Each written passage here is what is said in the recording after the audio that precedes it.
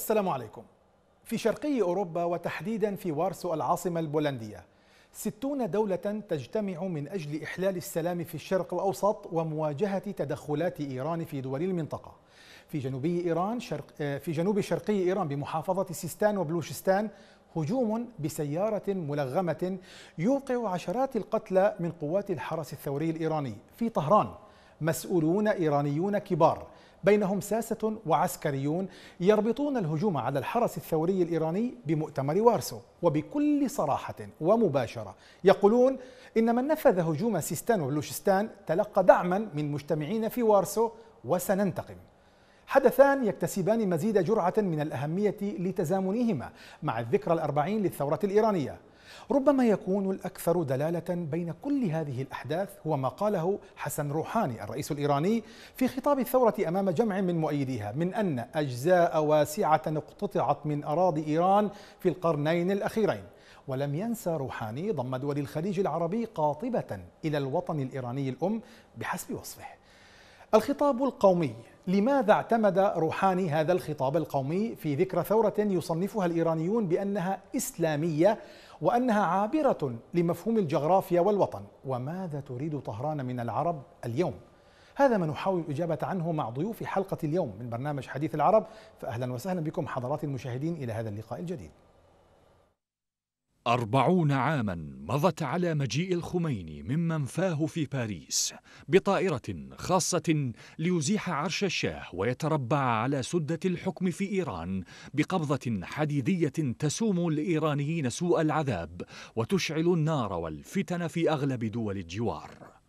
قد لا تكون مجرد ثورة على نظام سياسي فقد بدلت إيران كامل ملامحها لترتدي عباءة الملالي وترفع شعارا ظاهره الموت لأمريكا وباطنه شراكة استراتيجية متينة. ومع أول بدايات النظام الجديد في إيران بدأ ما يسمى بتصدير الثورة ليبدأ معه عهد جديد من تدهور العلاقات الخارجية نتيجة لتدخلات معقدة عكست في اتهامات إقليمية ودولية بتمدد الدور الإيراني في الشرق الأوسط بدءا بالعراق وحرب الثمان سنوات ومرورا بلبنان وأفغانستان ليصل إلى اليمن وسوريا وغيرها من الدول سعيا للسيطرة عليها مذهبيا ونشر الطائفية فيها بغرض إضعافها وإخضاعها بالترغيب تارة أو بالترهيب أخرى.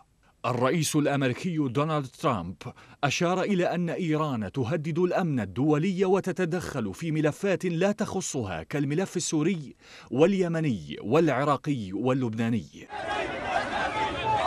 من جانب آخر فإن إيران تشهد على الصعيد الداخلي مظاهرات بين الفينة والأخرى تنديدا بارتفاع الأسعار والفساد المالي فضلا عن التضييق السياسي وكبت الحريات. التهديدات الإيرانية للمنطقة دفعت الولايات المتحدة إلى عقد مؤتمر حول الشرق الأوسط في العاصمة البولندية وارسو منتصف الشهر الجاري. وهذا ما لا يصب في مصلحة طهران فقد يخرج بمقررات لا تخدم سياسته. ويبدو أن ثمة تحديات كبيرة تواجه إيران على الساحتين الداخلية والخارجية فداخليا غضب شعبي لسوء الظروف الاقتصادية وخارجيا توترات كبيرة ومستقبل مجهول جعل الشارع الإيراني يفقد صبره بعد أربعة عقود على حكم ولاية الفقيه جراء سياسات النظام وجر البلاد نحو صراعات وحروب خارجية. متابعة لهذا الموضوع آه، آه، ينضم إلي آه، قاسم قصير عبر سكايب الصحفي اللبناني وعبر من بيروت طبعا وعبر سكايب من عمان العاصمة الأردنية أيضا أسامة شحادي الكاتب والباحث الأردني ومعي في الاستوديو الدكتور محمد عبد المجيد الباحث في مركز الدراسات الإيرانية بأنقرة. أهلا بالجمع الكريم لو بدأنا معك دكتور محمد. هناك أسباب اجتماعية سياسية اقتصادية لا شك أنها كانت تقف وراء قيام الثورة الإيرانية قبل نحو أربعين عاماً. لكن السؤال هو الفكرة الأساسية الفلسفة الأساسية التي قامت من أجلها هذه الثورة قبل أربعين عاما. حول ماذا تمحورت؟ آه، بالعودة لخطابات آه، الخميني قبل شهور من عودته إلى إيران وفي الأشهر الأولى من عودته إلى إيران كان هناك وعود بتحقيق عدة أمور. على رأس هذه الأمور يأتي تأتي كف يد الدول الأجنبية عن البلاد وتأمين استقلالها وسيادتها. آه ثانيا تأمين الحريات الاجتماعية والسياسية في البلاد. آه ثالثا تحقيق العدالة الاجتماعية. آه رابعا آه، تنمية البلاد وتقدمها. آه، أيضا سيادة آه، القانون وتعزيز القيم الدينية. الآن إذا أردنا أن نفحص هذه الوعود التي قامت بها الثورة الإيرانية والتي ظل النظام الإيراني يرددها طوال هذه العقود الأربعة نرى أن النظام الإيراني نجح في أمر آه، واحد يمكن أن نقول وأخفق في أكثر المجالات. الأمر الذي تمكن النظام الإيراني من النجاح فيه هو آه، المحافظة على استقلال البلاد وسيادتها ففي في هذه العقود الأربعة لم يقتطع أي جزء من البلاد وتمكن النظام الإيراني من المحافظة على استقلال بلاده وسيادتها. لكن المجالات الأخرى هناك كثير من آه، آه، إذا جاز التعبير يمكن أن نقول الإخفاق في إدارة هذه الملفات. هذا دكتور محمد يعني الأهداف الكبرى والأساسية ليست التفصيلية وإنما الداخلية. الأهداف الكبرى التي نشأت من أجل هذه الثورة ما الذي تحقق منها اليوم بعد أربعين عاما؟ كما ذكرت يعني هذه هي الأهداف الحقيقية التي قامت من أجلها الثورة الإيرانية. آه، عندما قامت الثورة الإيرانية يجب أن نذكر لم لم يقم بها الإسلاميون فقط قام بها آه، حزب تودا أو حزب الشعب آه، اليساري وقام بها منظمة مجاهدي خلق. وطبعا كان هناك يعني حضور كبير للتيار الإسلامي فيها. لكن أن الشعب الإيراني يعتقد أن أصحاب العمائم أو ما يسمى الملالي سرقوا الثورة و آه، آه، اقتنصوا كل مكتسباتها. بالعودة إلى هذه يعني كيف تبين لك أن هذه قناعة الشارع الإيراني بأن يعني كما أسميتهم أصحاب العمائم سرقوا الثورة؟ آه، في الحقيقة أنا عايشت المجتمع الإيراني لمدة عشر سنوات وأعرف يعني آه، منذ عشرين سنة تقريبا أنا أعايش المجتمع الإيراني وعلى اختلاط واسع يعني مع طبقات مختلفة من الشعب الإيراني. آه، هذه القناعة موجودة عند أكثر أو عند فئة كبيرة من عند عند القاعدة الشعبية أم عند النخب الإيرانية؟ ليست فقط عند النخبة. يمكن أن تذهب إلى يعني إذا صعدت التاكسي في شوارع طهران تتكلم مع سائق التاكسي بهذا الأمر. فهناك في الحقيقة يعني هناك نقمة أو هناك آه، آه، ما يمكن تسميته آه، يعني استياء وغضب من النظام الحاكم في في طهران لأنه يعني قام بوعود كبيرة لكنه لم يوفي بهذه الوعود، الآن يعني سأدخل في هذه الأمور التي ذكرتها، على صعيد العدالة الاجتماعية آه، لم ينجح النظام الإيراني في تأمين العدالة الاجتماعية فما لبث أن آه، لجأ إلى إقامة محاكم ثورية آه، أصدرت أحكاما بالإعدام على كثير من معارضيه وكلنا يعرف أن الكثير من ليس من, من أبناء النظام من أبناء النظام. يعني معذرة أرجو المعذرة. يعني معروف مواقف الخميني أنه قبل نجاح الثورة كان يؤكد على ضرورة عدم لمس الجند الإيرانيين لأنهم من أبناء الشعب ووقف سدا منيعا ضد قتل الضباط وإعدام ضباط الجيش الإيراني، لكن بعد ذلك كل ثورة في العالم هي بالنهاية تطيح بما سلفها حتى تنجح وتقيم دعائمها. فأين المشكلة؟ صحيح، المشكلة أننا ندعي أننا إسلاميون ونقيم نقيم هذه الأعمال، إذا لم أدعي أنني إسلامي، إذا آه، أردت القيام بثورة آه، من الطبيعي أن تحدث هذه الأمور في الثورة، لكن أنا عندما أتبنى أتبنى مفهوم العدالة وأنني سأقيم يعني سأقيم دولة مثل الدولة التي قامها النبي صلى الله عليه وسلم وكما قام بها الإمام علي وفق المعتقد الشيعي، فهذا في في يعني هناك تناقض صارخ بين ما قامت به الثورة الإيرانية والمبادئ التي قامت عليها. آه، هذا من حيث العدالة الاجتماعية. من, من ناحية الحريات السياسية والاجتماعية. آه، إذا أردنا العودة إلى مؤشر آه، الحريات في الشرق الأوسط في صدر في العام الماضي احتلت إيران المرتبة الخامسة عشر بين 22 دولة من دول المنطقة ولم يتبع يتبعها سوى دول يعني مثل جزر القمر وموريتانيا وجيبوتي. هذه أتت بعدها.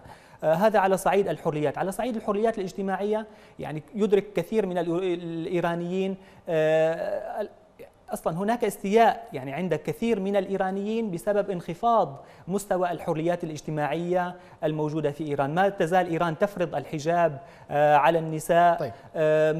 ما تزال يعني تمنع كثير من الإيرانيين من ممارسة آه، يعني آه، نعم. عاداتهم وتقاليدهم. ربما نتوسع في طرح هذا الأمر بعد قليل. لكن دعني أسمع رأي الأستاذ قاسم قصير. أجدد الترحيب بك مرة أخرى. أستاذ قاسم الإيرانيون اليوم يعني يحتفلون بالذكرى الأربعين لثورتهم.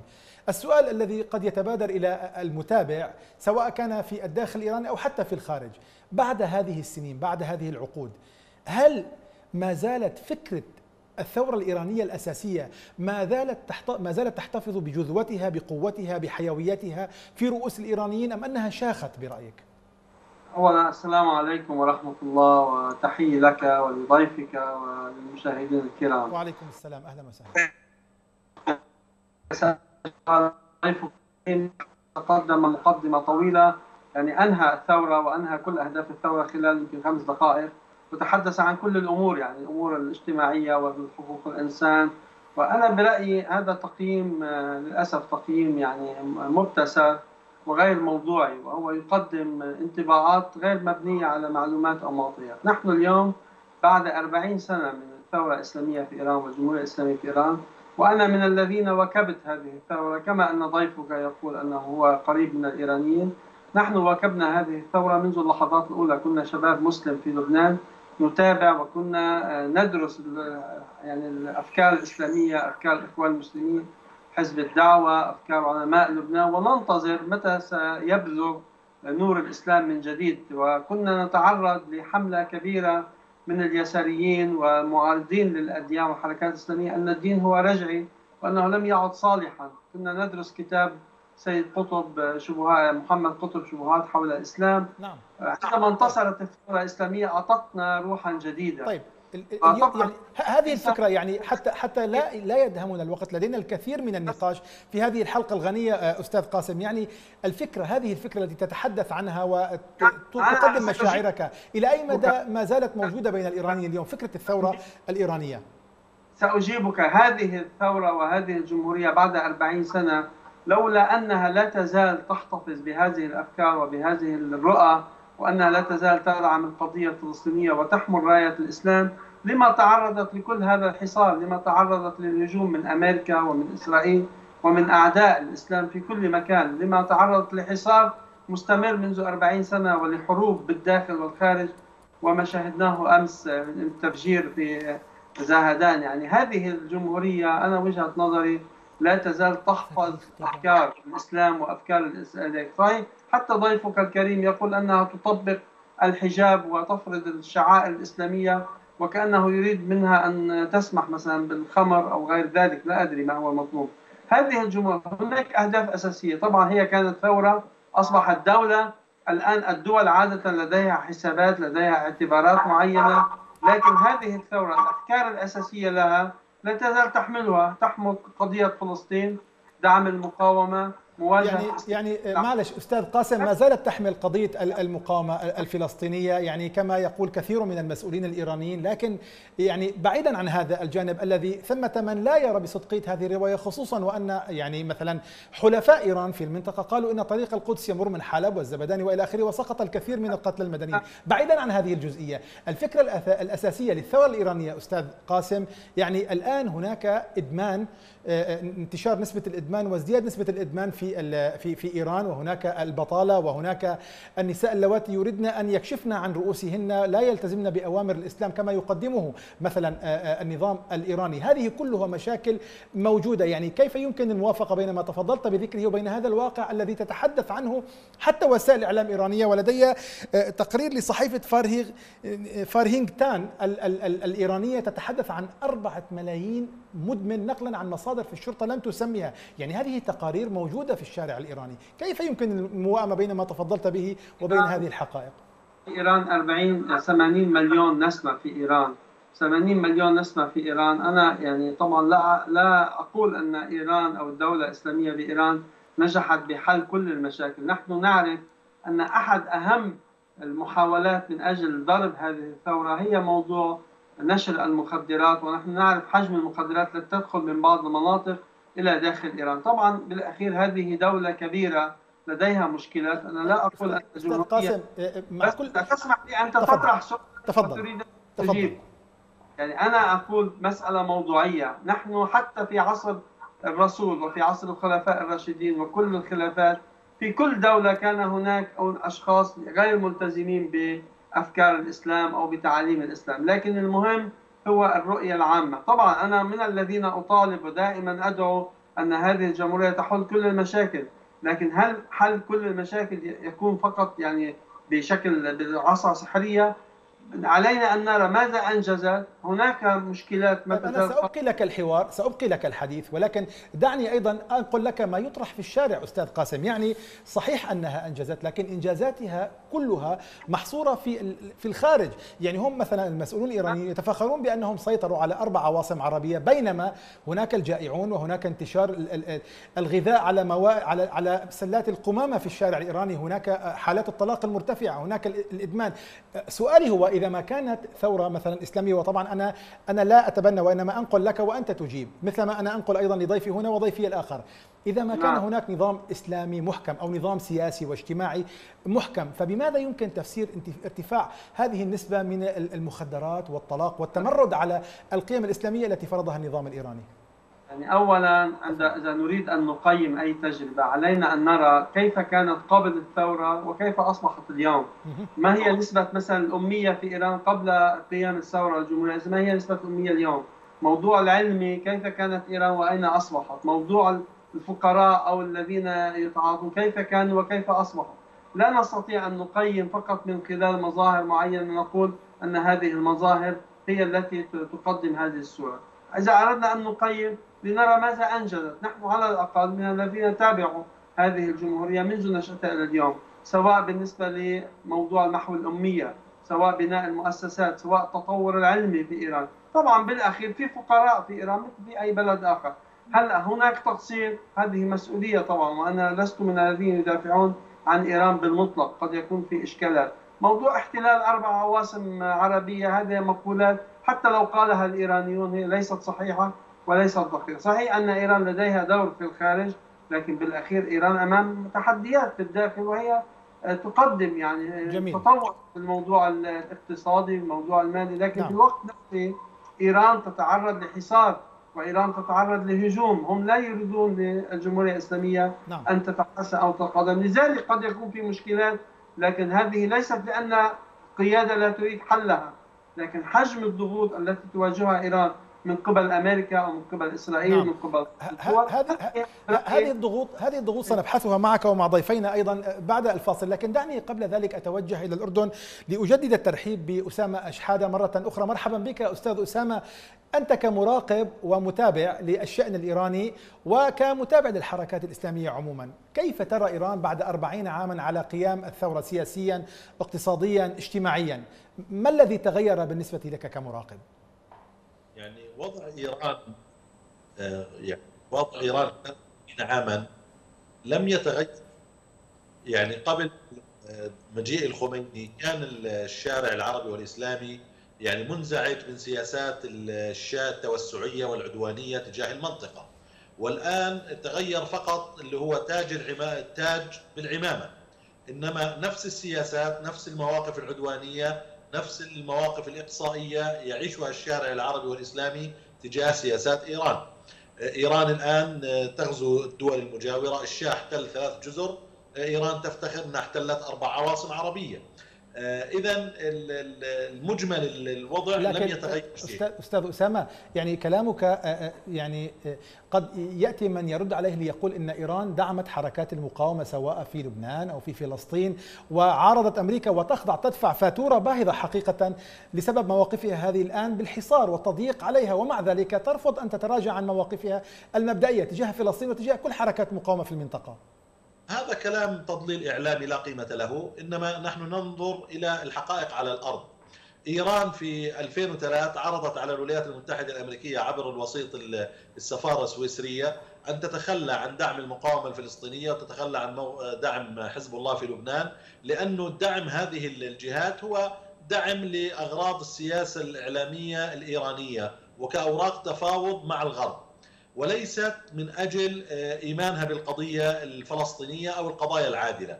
نحن نرى الآن آه، يعني إيران مارست قتل الفلسطينيين في العراق في حي البلديات في بغداد، مارست قتل الفلسطينيين في مخيم اليرموك في سوريا، مارست قتل الفلسطينيين في صنعاء وغيرها ممن هربوا من آه، يعني سوريا والعراق ولجؤوا لليمن، فقام الحوثيين بقتلهم عبر الأسلحة الإيرانية وغيرها. فهذا الكلام يعني كلام حقيقة دعائي لا قيمة له ولا حقيقة له.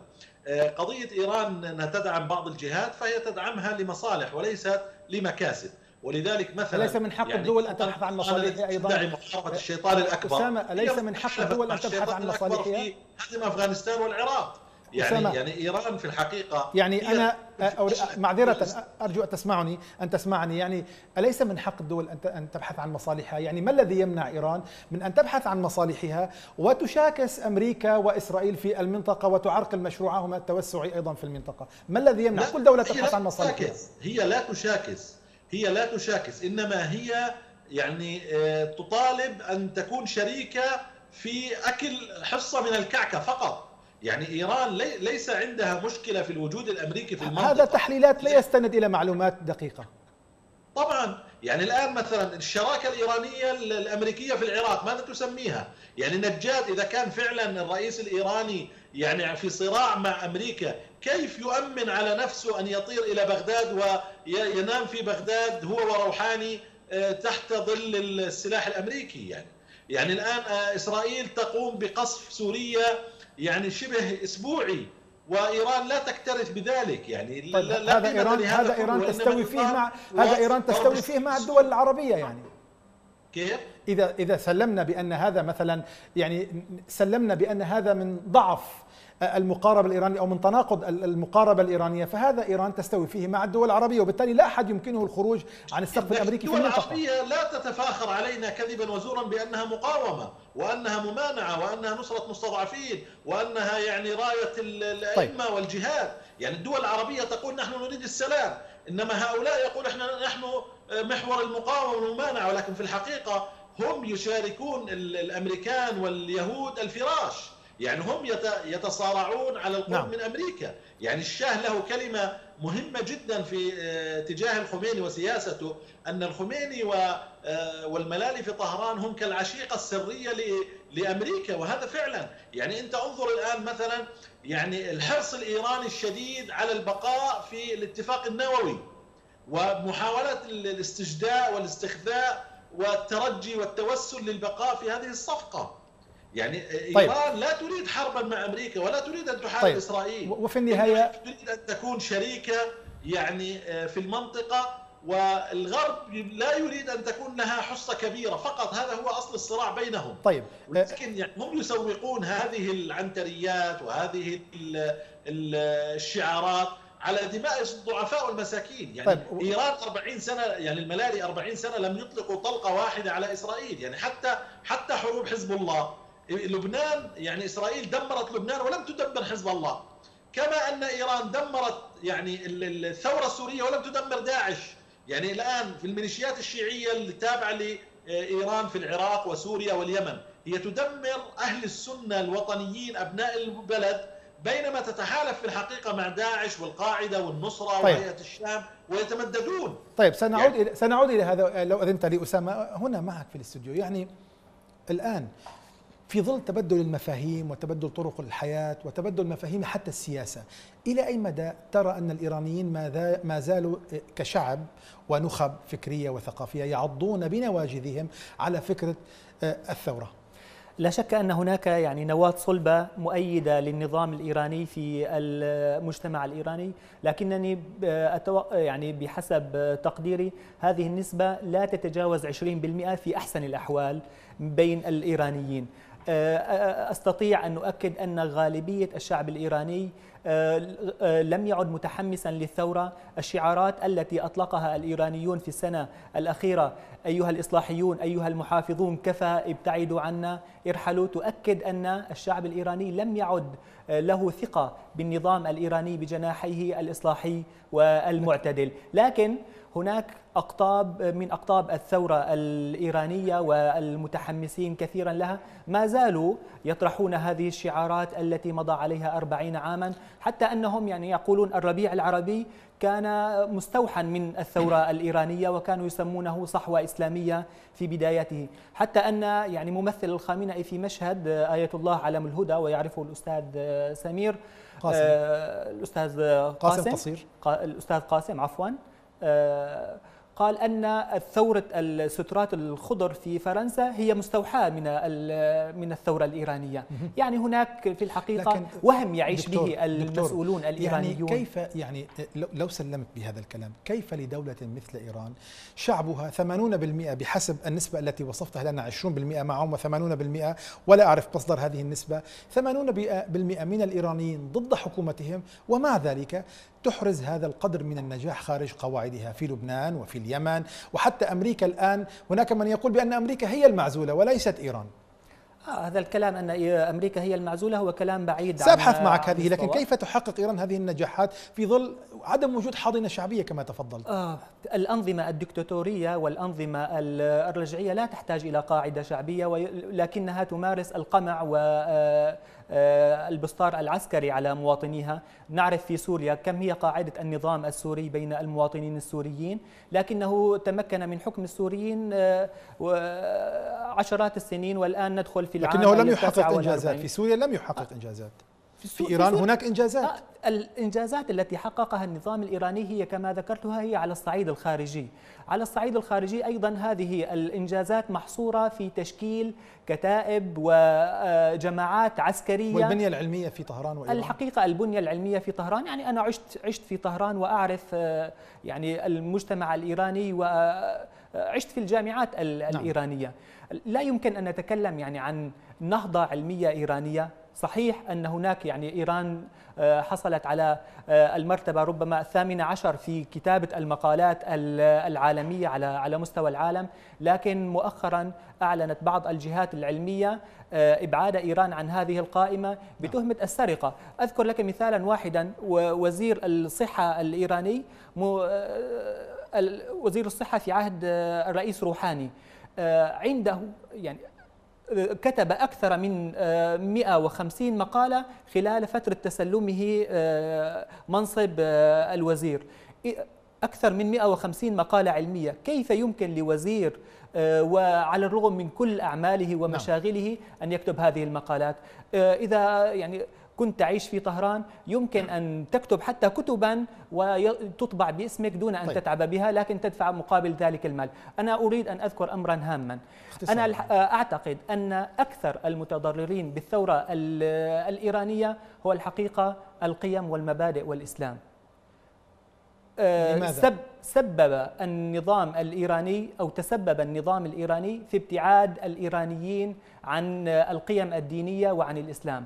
قبل الثورة الإيرانية وقبل فرض هذا النظام كان هناك بالتأكيد يعني حالات ابتعاد عن الدين هناك نعم. حالات ربما دخول في أديان أخرى لكن الآن إذا مشيت في المجتمع الإيراني تجد كثير من الإيرانيين يجاهرون بإلحادهم يجاهر يجاهرون بابتعادهم عن الدين يجاهرون بعدم تطبيق التعاليم الدينية يجاهرون في عدائهم للدين في هذا الحقيقة. موجود في كل مكان موجود في كل مكان لكن عندما يفرض النظام النظام يفرض نظاما إسلاميا يولد ردة فعل طيب. عكسية حتى أن الإيرانيين ابتعدوا كثيرا ابتعدوا كثيرا عن رجال الدين إذا ذكرت لك مثالا واحدا في في مجلس الشورى الإسلامي الأول بعد الثورة الإيرانية كانت نسبة رجال الدين في مجلس الشورى 60% نعم. من آه، عدد نواب طيب. البرلمان لكن في البرلمان الحالي لم آه، لا تبلغ النسبة أكثر من 6%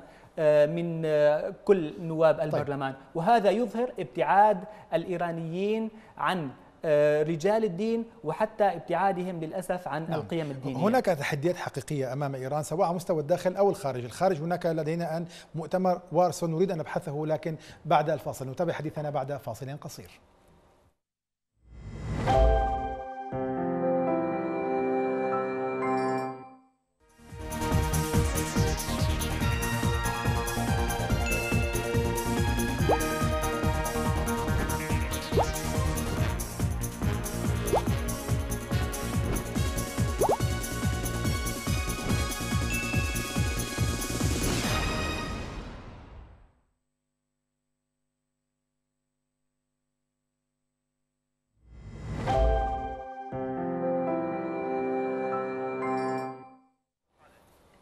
أسعدكم الله. ما زلنا وإياكم في الحديث عن إيران وهي تعيش الذكرى الأربعين لثورتها. أذهب إلى بيروت. أستاذ قاسم كيف تبدت لك الخطوط العامة للسياسة الخارجية الإيرانية على مدى العقود الماضية؟ هل كان الدور المحوري فيها أو البعد الأساسي هو العقيدة أم القومية أم المصالح الاقتصادية أم ماذا؟ طبعا هذا سؤال مهم جدا لكن قبل كمان أجيب على السؤال أنت طرحتم في هذا الحوار عشرات القضايا أخونا من أردن طرح قضايا إسرائيل وأمريكا والعراق ولبنان. أخونا في إسطنبول عندك يطرح الموضوع العلمي وموضوع تأييد النظام. يقول أن 20% هم فقط مؤيدين للنظام في حين أن الذين يشاركون في الانتخابات أحيانا يصل إلى 75% من أبناء الشعب الإيراني. آه الذين الآن شاركوا بالمظاهرات في آخر مظاهرات لا أحد يجبر أحد على النزول في التظاهرات. يعني ملايين البشر ينزلون إلى التظاهرات. لا أدري كيف يتم تقييم أن هذا النظام هو نظام لا يحظى بدعم شعبي في حين أن الناس عندما يحدث أي مشكلة في إيران كل الناس تنزل. طبعا هناك اعتراض وهناك معارضة. مسألة الأخرى موضوع العلمي إيران النانو ما يسمى تقنية النانو هي من الدول الأوائل في تقنية النانو. أنا طبعا لا أريد أن أدخل بتفاصيل علمية الآن. هناك معلومات عديدة نعم. يمكن أن تحدث. لكن بموضوع إسرائيل موضوع المقاومة أنا لا أريد أن أتحدث أنا أرجع إلى قادة المقاومة في فلسطين حركة حماس حركة الجهاد. هم الذين يقولون أن إيران هي التي تدعم بالصواريخ وبالإمكانيات المقاومة. أحد مشكلات إيران مع أمريكا ومع إسرائيل هي أنها تدعم المقاومة. في لبنان حزب الله هو الذي تعرض لحرب 2006 والذي دعمه كان إيران بالسلاح وبالإمكانيات ولولا دعم إيران لما كنا صمدنا. ولم تستهدف إسرائيل طيب. فقط حتى يعني لبنان استهدف حزب الله وشباب حزب الله. أخذت ربما وقتا كافيا أستاذ قاسم. حبذا تجيب السؤال. تفضل. أخي العزيز نحن حتى نكون نعمل تقييم دقيق. يمكن نأخذ موضوع محدد ونشتغل عليه. مش إنه نطرح 15 موضوع وفي كل موضوع يتم فيه معطيات واتهامات. إيران وإسرائيل تنامان في سرير واحد. وإسرائيل كل يوم تقصف المراكز التي تقول أنها فيها إيرانيين في سوريا. موضوع إذا ذهب رئيس وزراء رئيس إيران على العراق يكون ينسق مع الأمريكيين هذا موجود الآن في في نيويورك يوجد طيب هو هو الحديث هو الحديث بالمجمل عن إيران من الداخل هو الحديث بالمجمل عن إيران من الداخل ومن الخارج. يعني ربما نعم أستاذ قاسم. ربما أخذت الوقت وهذا من حقك. أخذت الوقت الكافي لكي ترد على ما تفضل به الضيفان وهذا من حقك. كل الاحترام لك. الآن يمكنك أن تجيب عن السؤال عن البعد الأساسي في السياسة الخارجية الإيرانية. إيران دوله إيران دولة لديها عدة أبعاد. اولا هي دولة ذات بعد إسلامي.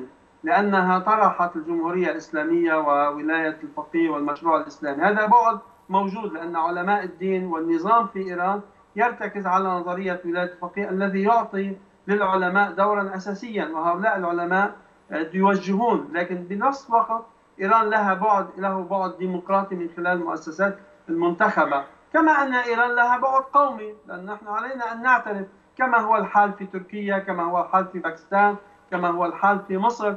البعد القومي حقيقي. إيران تحاول أن تقدم نوع من توليفة لكي تمسك بكل المسائل. طبعا أحيانا يخطئ الإخوة الإيرانيون بمواقفهم بتصريحاتهم. يقدمون البعد القومي على البعد الإسلامي أحيانا في بعض المواقف. هذا مرتبط بالظروف. لكن بالأخير هل إيران ككل خدمت الإسلام على مدار 40 سنة أو لم تخدم ليس ليس موضوع الحلقة هو خدمة إيران للإسلام من عدمه. هذا موضوع ربما نخصص له في برنامج نعم. آخر في حديث آخر. لكن نريد أن نعرف نريد أن نعرف الرافعة الأساسية للسياسة الإيرانية في تعاملها مع محيطها وخصوصا المحيط العربي. هناك ثلاث أبعاد. هناك اولا بعد إسلامي. هذا البعد الإسلامي هو بعد حقيقي لأن إيران صاحبة مشروع إسلامي حضاري وهو مشروع ليس فقط شيعي هو مشروع إسلامي كله. أنا اليوم كتبت مقال في موقع عربي 21 تحدثت فيه عن علاقة الإخوان المسلمين بالقيادة الإيرانية وكيف تأثر السيد خامنئي شخصيا وهو كتب مذكراته بسيد قطب وبمحمد قطب وكان أن هؤلاء هي التي أثرت بالفكر الإيراني. هذا البعد الإسلامي موجود. لذلك هي تطرح جمهورية إسلامية ومشروع إسلامي لكن في الوقت نفسه لأن إيران موجودة ضمن حدود معينة وتخطي هذا الحدود يؤدي إلى أزمات في المنطقة ترتكز على البعد الإيراني خصوصا أن البعد القومي الإيراني يؤثر بالمنحى الإيجابي وليس السلبي لأنه أي مجتمع إذا سحبت منه الجانب القومي أو الجانب المحلي يضعف قليلا إيران تستفيد من البعد القومي. وتطرح تعاون إيران كدولة مع بقية الدول هي لا تريد إلغاء أحد هي تريد أن تتعاون مع تركيا ومع باكستان ومع العراق ومع لبنان مع كل الدول تقدم تجربتها هذا بعد آخر. جميل. هناك بعد ثالث أنا برأيي هو البعد الإنساني العالمي. إيران تعتبر نفسها جزء من الصراع في مواجهة الولايات المتحدة الأمريكية وهي قدمت شهداء وقدمت تضحيات وهي لا تزال تتعرض لحصار. صحيح أن هناك أحيانا محاولات للتفاهم لكن كما نلاحظ اليوم في وارسو اليوم أمريكا تجمع كل القوى في العالم من أجل مواجهة إيران. لو ما أن إيران لديها بعد انساني عالمي تريد مواجهه طيب. استكبار لماذا يعقد مؤتمر وارسو اليوم وأحد شعاراته محاربة إيران لو أن إيران متفاهمة مع إسرائيل طيب. ومع أمريكا لماذا الآن أنا كل هذه أنا أنا سأعود إليك لبحث موضوع آه، آه، آه، وارسو لكن لو أذنت لي أريد أن أذهب إلى الأردن أستاذ أسامة هناك محاولات واضحة لحصار طهران ليس آه، ربما آخرها قد يكون مؤتمر وارسو الجاري الآن. 60 دولة مجتمعون في بولندا. وما علاقة بولندا بطهران؟ أنا بإيران لا أعرف. لكن 60 دولة مجتمعة من أجل الضغط على إيران. بالصيغة التي رأيناها علما أن هذا المؤتمر يعني يضم خصوم الأمس. العرب وإسرائيل على طاولة واحدة للمرة الأولى في مؤتمر دولي من أجل إيران. يعني بعد كل ذلك نريد أن نقول بأن إيران هي الشيطان وأن العرب هم المساكين. وهم يجتمعون مع إسرائيل وأمريكا لحصار إيران في بولندا. بالصيغة التي نراها هل هذا المؤتمر مؤتمر وارسو هو في النهاية في صالح طهران أم ضدها؟ لا يعني هي القضية القضية لا تنظر بعد يعني. يعني لماذا لماذا إيران لما انزعجت من صدام حسين أو من طالبان تحالفت مع الشيطان الأكبر وأسقطتهم؟ لماذا يجوز لطهران هذا يعني؟ يعني لماذا طهران يعني ترضى بالوساطة العمانية لأجل عقد اتفاقية الصفقة النووية؟ قبلت بالوساطة العمانية. لماذا؟ آه، إيران يعني قبلت السلاح الإيراني في بداية ثورتها طيب من سنة 1980 ماذا عن مؤتمر عن مؤتمر وارسو؟ مؤتمر نفس وارسو. القضية نفس القضية. يعني إيران لما تنزعج من دولة معينة تستعين بإسرائيل وأمريكا. الآن العرب نفس القضية انزعجوا من إيران فاستعانوا بأمريكا وإسرائيل. أنا لا أؤيد التعاون مع إسرائيل لكن إيران لا ما عندها مشكلة. يعني هي نتنياهو يعني زار الملك قابوس قبل أسابيع ما ما انزعجت إيران ولا شعرت في في ذلك مشكلة ابدا يعني. فالقضية الحقيقة إنه تصوير الموضوع إنه اوس وارسو في قضية إسرائيل وتطبيع يعني هذا عبارة عن تحريف للصورة. إيران وإسرائيل يعني بينهم حقيقة علاقة جيدة وخدمات قديمة وحديثة لأجل تفتيت المنطقة وأجل ضرب العرب والمسلمين السنة، الآن بتنافسوا أحيانا يعني لمصالح حزبية داخلية نتنياهو عنده أزمة انتخابات آه، أحيانا روحاني يعني أو نجاد أستاذ أسامة يعني أرجو أرجو أرجو أن يعني أن نكون أكثر موضوعية، يعني هي مثلا إيران لديها علاقات كما تفضلت مع إسرائيل وهي التي تتعرض للحصار الآن في وارسو بينما العرب الذين هم يعني يتعاونون مع إسرائيل الآن في وارسو ضد إيران هم يعني الصورة ليست ليست واضحة يعني. كيف؟ إيران إيران لا إيران يعني إيران لم تحاصر آه، بالشكل الحقيقي وكانت إسرائيل وأمريكا تدعمها وأمريكا اللي أعطت إيران مليارين دولار يعني في الصفقة النووية قبل أشهر. فالقضية يعني أنا قضية الموضوعية والحيادية حقيقة يجب ما ما ما ما ننغش فيها كثيرا يعني. لا ننغش فيها قضية الحصار وما الحصار هناك صراع هناك صراع لكن هذا الصراع ليس صراع وجودي. الآن إيران دولة عدوانية إرهابية تعمل مشاكل في المنطقة؟ نعم. هي الآن عندها عمليات إرهابية في أوروبا للمعارضين الإيرانيين نعم وعندها دعم لكل جماعات الإرهاب في العالم من القاعدة داعش نعم. الجماعات المتطرفة في الجزائر قديما جماعات في أمريكا اللاتينية جماعات موجود طيب. فإيران عندها مشاكل مع دول كثيرة في العالم طيب. إيران ليست حمامة سلام وليست الملائكة طيب. ولا أنه خصومها كلهم شياطين طيب وضحت يعني الفكرة أسامة لكن لكن الآن رمز العدالة والإنصاف ولا إسرائيل لكن لكن, أه، لكن من حق العرب أن يدافعوا على أنفسهم. من أرجو حق العرب أن أرجو, أرجو المعذرة عن المقاطعة. يعني الآن هناك مؤتمر وارسو حقيقة أه، أه، ثمة من المراقبين من صنفه بأنه خطوة أمريكية جديدة لتصور الأمريكي للشرق الأوسط. هذه الرؤية أريد أن أسأل عنها معي في الاستوديو الدكتور محمد. أين مكانة إيران أو مكانها في الرؤية الأمريكية الجديدة التي تتجسد بحسب مراقبين في مؤتمر وارسو الجديد للشرق الأوسط؟ إذا ما وزناها في الوزن السياسي والاستراتيجي المهم لإيران في المنطقة. وأرجو الاختصار. أود التأكيد بداية أن أمريكا لا تمانع أو لا تعارض النفوذ الإيراني في المنطقة. تدخلت إيران في سوريا بناء على ضوء أخضر من من أمريكا وليس هناك مشكلة لدى أمريكا في دخول إيران المنطقة ونفوذها فيها. لكن إيران لكن أمريكا تريد أن يكون هذا النفوذ الإيراني منضبطا وتحت السيطرة. أمريكا تريد لإيران أن تكون دولة ديكتاتورية ثيوقراطية دينية. لا لا مشكلة بالنسبة لها ولا مشكلة لها أن لا مشكلة بالنسبة لها أن تسيطر على آه، عدة دول عربية. لكن ينبغي أن يكون هذا بغطاء أمريكي وبرضا أمريكي ولا ينبغي خروجها عن عن الطاعة آه، الأمريكية. هذا هو المهم بالنسبة للولايات المتحدة وهذا ما تقوم به. منذ يعني السنة الماضية آه، بعد أن خرج الرئيس دونالد ترامب من الاتفاق النووي وفرض عقوبات على إيران لجأ إلى هذه السياسة وهي سياسة الضغط على النظام الإيراني لخلق آه، حالة احتقان شعبي ضد النظام لكي يفرض آه، على النظام التراجع وتقديم التنازلات للولايات المتحدة وهو ما سيلجأ إليه النظام آه، في نهاية الأمر آه، شاء أم أبى. وكلنا نعرف أن النظام الإيراني كلما وقع في أزمة ووصل إلى آه، جدار مسدود كان يقدم التنازلات ويرضى بالجلوس إلى طاولة المفاوضات مع أمريكا. والمفاوضات مع أمريكا هي التي حافظت عليه وأبقته في السلطة حتى الآن. لكن أريد أن أجيب لو سمحت يعني بمسألة بسيطة الأستاذ قاسم قصير.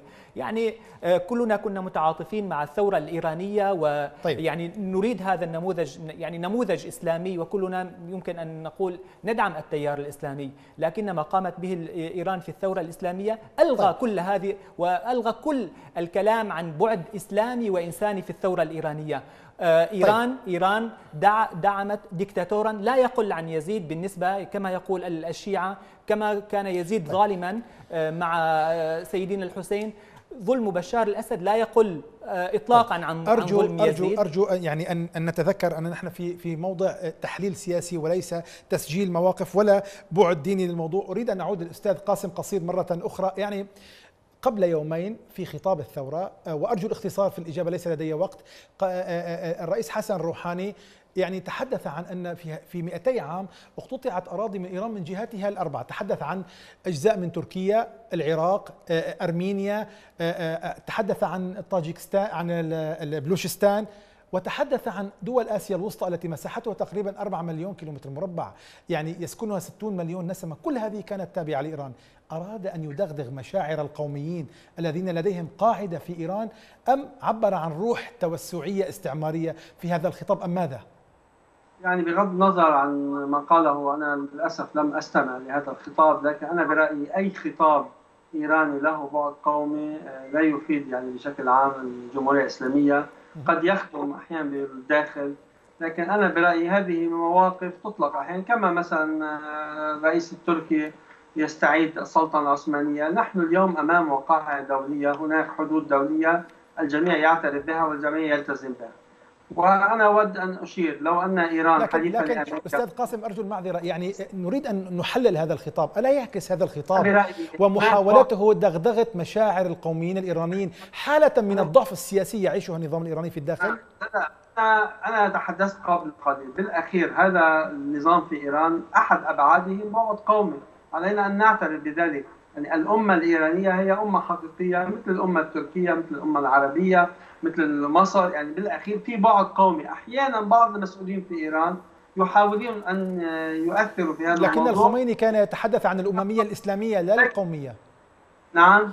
لكن الخميني يعني فكرته الأساسية وجوهر وشرعيته في الحكم كانت تقوم على الأممية الإسلامية لا القومية الإيرانية. أنا كمحلل وكمتابع للثورة الإيرانية أنا أعتبر حتى الإمام الخميني وحتى الجمهورية الإسلامية هي التزمت بالأبعاد الثلاثة. البعد القومي والبعد الإسلامي والبعد الإنساني العالمي. الجانب القومي لأنه لا يمكن الآن نحن في ظل وضع دولي ونظام دولي عالمي لا تستطيع أن تخرج من الإطار القومي لأنه لو أن إيران قالت أنها تريد أن تخرج من إيران وتصدر الثورة وتكسر الحدود لقامت الدنيا ولم تقل بتهمة أن إيران تريد تغيير على الرئيس روحاني، أنا بوجهة نظري أن حتى الإمام الخميني قال نحن نريد اتحاد بين الدول الإسلامية، لم يقل يريد خلافه إسلامية لأنه يعترف بحساسيات العلاقة مع الدول. البعد القومي حاضر في إيران وهذا طيب. نعترف بذلك لكن هذا ليس لأن إيران ضعيفة بل لأن هذا جزء من التركيبة الإيرانية الداخلية لأن الواقع الإيراني اليوم عليه أن لكن هذا لا يلغي البعد الإسلامي أو البعد العالمي. الإنساني بالأخير مشروع عالمي طيب. مشروع بالمعنى العالمي لكن له قاعدة الآن قاعدتها إيران وله حلفاء في المنطقة أما بس بالنسبة لأمريكا بس أنا مع احترامي للاخوان يعني ارجو ارجو أرجو البعد عن المناكفه أستاذ قاسم يعني ليس ليس لدي ليس لدي الوقت يعني ومعي ضيفان. أرجو منك أعتذر منك شديد الاعتذار وأحترم مداخلاتك جدا. أريد أن نذهب إلى الأردن مرة أخرى. الأستاذ أسامة أرجو الاختصار أيضا. ماذا تريد إيران الآن من العرب؟ هل أخذهم إلى بيت الطاعة أم تسليمهم بنفوذها الإقليمي ومقارباتها لمشاكل المنطقة وأزماتها؟